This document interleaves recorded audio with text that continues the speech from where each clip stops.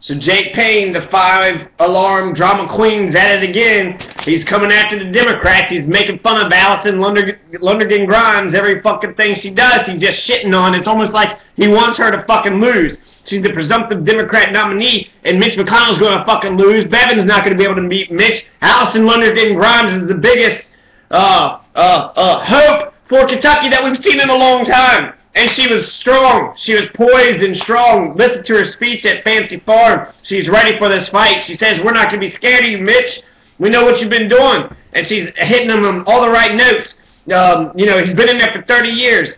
And, uh, you know, he's, he's whatever Kentucky, perennial problems Kentucky has, poverty, health care, violence, prisons, police brutality, pollution, mental health, cancer deaths, uh, heart disease, obesity, smoking, been drinking, on and on and on. God, goddamn, it's fucking Kentucky. We've had perennial problems for last 30 years. It's a good-ass fucking counterclaim to say basically any fucking thing he says. Well, he's been in power for 30 years. What the fuck has he done for this state? 30 goddamn years. But Jake Payne, he was like, now Alison is just trying to use the U.S. Senate. So Mitch McConnell, he does some fucking bullshit, trying to pass like anti-coal regulations because that's why the coal industry is going down because they're they're you know too regulated. Bullshit. If uh, we actually cared about the Kentucky people, if this was actually a commonwealth, we would take the coal. We would take the coal and the land and redistribute it to everybody. We would take the coal for the people. It would be the people's, the people's coal because well, uh, it creates electricity. You know, we can be able to produce cheap electricity for everybody. So you have page one here. It's on I don't know, um, uh, September 25th. So he posted this shit today, and he says, "Oh, Alison Lundergan Grimes trying to lose. She's so stupid. She don't know what he's doing. I'm fucking a savvy political expert. I know what's going on. Who the fuck you been taking advice from? You're wronger than a motherfucker, man." He's uh, first he makes fun of Alison Lundergan Grimes when she opens up the primary campaign, right? They said, "Wow, it was so horrible. You know, she was disorganized, this and that." She came out, she said what she needs to say, she was strong, she's plainly spoken, and, you know, I believe her, and I believe she knows what she's doing. I think she's a great candidate, and because she's polling, she's polling above Mitch McConnell right now, better than Mitch, the bitch, the white supremacist, piece of fuck shit, who's been in there for 30 fucking years. 30 fucking years. Um, so, yeah, keep on fucking shitting on all the challengers of Mitch McConnell and tell me that you against Mitch McConnell. Fuck Jake Payne. Jake Payne goes after the Democrats and the liberals to prove to his conservative fucking friends that he's fair and balanced. The only fucking way that you'd ever want to be Jake Payne's friend is if you're a conservative, because he'll try to fucking prove how shit he is to the Democrats and liberals in order to get your love. Fuck him. He ain't fucking fair. He ain't got no fucking principles or morality. He's a gatekeeper for the Republican Party. So you have, um, okay, so, you know, fuck Jake Payne and what he said about Alison Lundergan Grimes. Um, the other, uh, oh yeah, the, the issue, I didn't even say what the issue was. The issue was, uh, he, she said something about that he has done nothing for coal. He's anti-coal. He's been there for 30 years. What the fuck has she done? And then the Courier Journal, you know, rushes to Mitch's defense. It was like, hey, wait, he's he's done a lot of things. He's passed lots of regulations and stuff, you know, like she don't know what she's talking about. Jake Payne reads the Courier Journal. Courier Journal's making fun of her, so he's like, oh, oh, since she don't know what she's talking about, she's stupid. His exact quote is, not only are her elderly advisors too stupid to realize they have no clue how to run a federal race, but they're allowing her to do crap like this. Just bizarro. It's like she wants to be portrayed as too stupid to breathe. Her mother needs to step in right away to shut her dad up. Fuck you, Jake Payne. Jake Payne sees anybody else that gets attention in Kentucky as a threat to his own fucking personal power. Alison Lundergan Grimes come out of nowhere. She's well-spoken. She's polling higher than Mitch McConnell. She's going to fucking win. She's going to be the next senator of Kentucky. But Jake, Jake Payne continues just to shit on her. You got so much shit in the fucking article. All she did was say that, you know, he's talking about trying to cut regulations, and then they asked her for comment, and her comment was, well, he's been in there for 30 years. What the fuck has he done? He's lost the jobs. Jobs are leaving, you know, coal jobs are being left because Mitch McConnell's been in power for 30 fucking years. maybe, maybe the problem isn't that Mitch McConnell, um, you know, is cutting regulations and that's great for the coal industry. What Mitch McConnell is doing is not successful for the, for the coal industry. He's been in power for 30 years. Under Bush, what the fuck he do? Under Reagan, what he do? 30 years. It Was that Carter? 2013, 2003, so 83. So Ronald Reagan. What was he doing in Ronald Reagan's era? When Ronald Reagan was president, what? That was the, the Republicans were in power. Then baby, uh, Daddy Bush, and then baby Bush. The Republicans have been in power for, you know, 16 fucking years during his 30-year tenure. What the fuck has he done? In those 16 years, did you save the fucking coal industry? Just making it, you know, less regulations, so go ahead, coal industry, pollute all the fucking streams, pollute all the air, it doesn't fucking matter. Well, guess what? Have no regulations, let them pollute all over the place, but they're still losing coal jobs. It's going down, the industry is going down, there's alternative energy sources, and there's other things that's going on. It's a very popular industry, it's very important, and I think we should grab a hold of it. But what Miss uh, Miss Grimes is saying is genius, and she's 100% right. Uh, he's a senator, and he did not, you know, he's trying to make it a free enterprise market, but capitalism has fucking failed. We saw that in 2008. Nothing's been fixed since 2008. Shit's going to happen again. And uh, we're going to be cutting more regulations, right? Because the more regulations you cut, the better it is for King Coal. Shit, Jake Payne used to be anti-King Coal, but evidently he's King Coal stooge now. He can't even see, you know, these clear-ass fucking Courier Journalists, the fucking Watterson, Henry Watterson, and George Prentice, known Ku Klux Klan, fucking white supremacist, racist, just low-life pieces of shit, got lots of blood of uh, black people on their hands. You know, so, you know, they're corporate too, so, you know, we expect them to be for King Coal. King Coal didn't give a fuck about us. They was killing us, Bloody Harlan, you know, 1 and 2 in the 30s and the 70s fucking King Coal killing us, our workers and the miners when they don't have their permits or when they don't have, you know, the proper regulations and the fucking mine collapses on some poor father's head. No regulations. They're dumping all the shit in the stream so that way people are drinking uh, these bad streams and going to the hospital. More sickness. Some of the coal counties are some of the poorest counties in the state. They're sitting on a bed of gold. So now there's no jobs, and there's no fucking money left.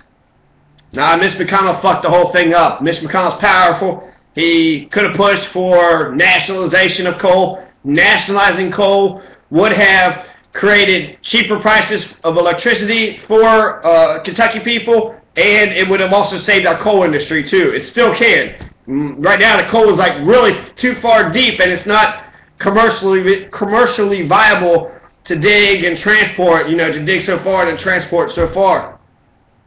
But if the state owns it, everything we get is ours, and we can use it to fund ourselves. So if power goes out of the United States, we got a coal fucking field, you know, that'll be able to keep the power going.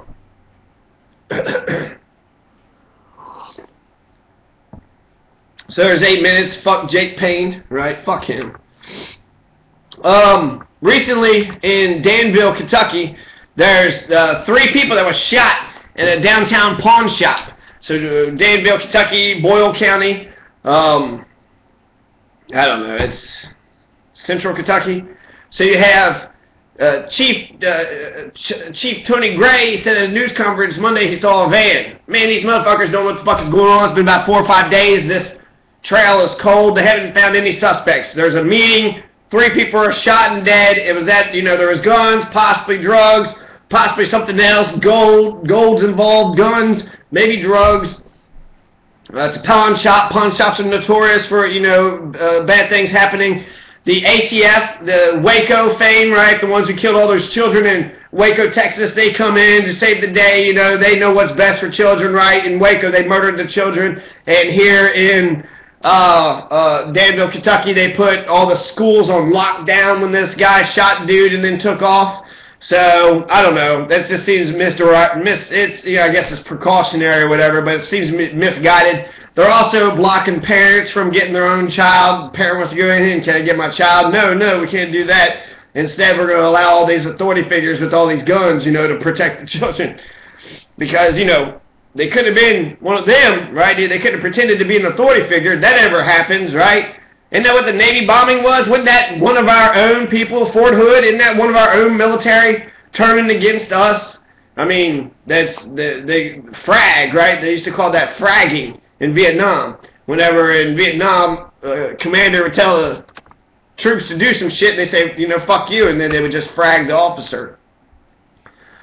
And then they had to do what he said, right? Then they, they was free, and then they could just all band together and say he was killed by enemy fire.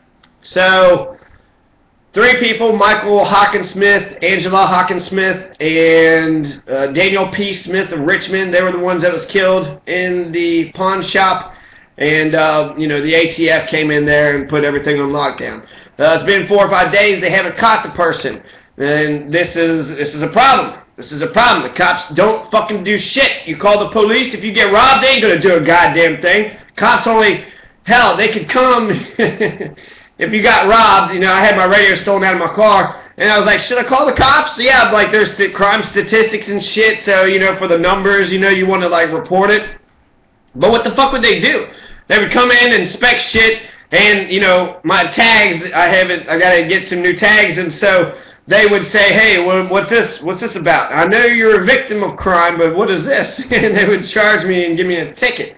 So they wouldn't catch the guy who just, you know, took my shit which is bullshit. Some motherfuckers just run around breaking into people's cars, taking shit. They ain't gonna do nothing about that, but they will fuck me up, okay? And why? Because I called them up to my house. Nah, nah, I would never call the police. Here's a fucking murder case. They can't catch the guy. They don't know where he's at. Four or five days. He could be out in fucking Canada by now. And um, there was also uh, recently in Bardstown. There was I thought it was like a sniper shooter um, the Bardstown police is like, you know, it's uh, different. It's like Shively police. It's like part of Louisville, but it's like their own thing. They got their own police department. So you got Bardstown Police Department, Shively Police Department, and then the LMPD, which I assume the LMPD can go everywhere, including Shively and Bardstown. I don't know. Um, but the, the, the Bardstown police officer he got shot with a shotgun, 12 gauge shotgun. I thought it was a sniper, but 12 gauge shotgun meant he had to be pretty, you know, more close than like, you know, on some mountaintop. Um, uh, so you have, you know, you have this, right? And it also makes me think of like Andy Griffith. He he was able to do things without a gun at all.